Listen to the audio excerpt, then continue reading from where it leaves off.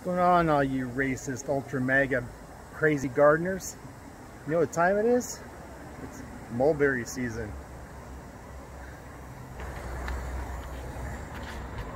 Pakistani mulberry right there, but we're gonna go to the everbearing where we've been harvesting for about three weeks now. Mulberries. These everbearing mulberries. Chickens love them. For every mulberry I pick, about three or four fall to the ground for them. These trees are just loaded. I gotta come out here every day because all these pink and red ones tomorrow will be purple.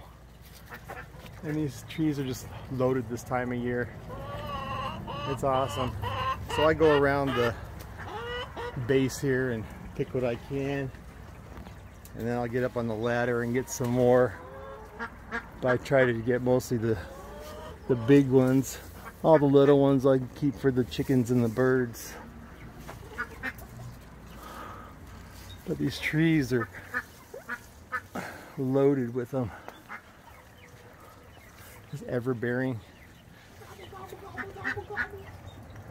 And uh, Pastor Neary's gonna come help me pick some mulberries. Is that what we need to do? Yeah, that's what we need to I do. can do can you hand. can you give me a hand? I can I give you one. I can only give you one hand, but I can give you one hand. Well, that'd be awesome. I mean, because this one's not a mulberry picking hand. But I am tall. That should help.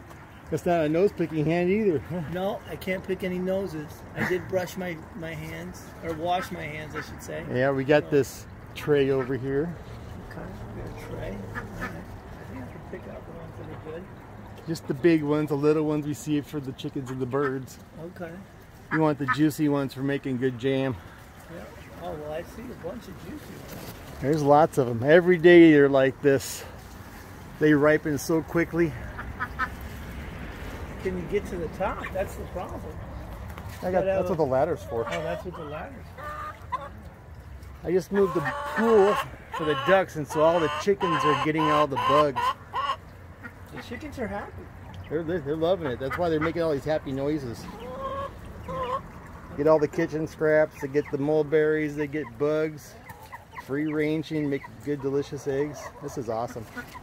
Then we can make some more jam. I'm on my last mulberry jam from last year, so we need to make some more next couple weeks.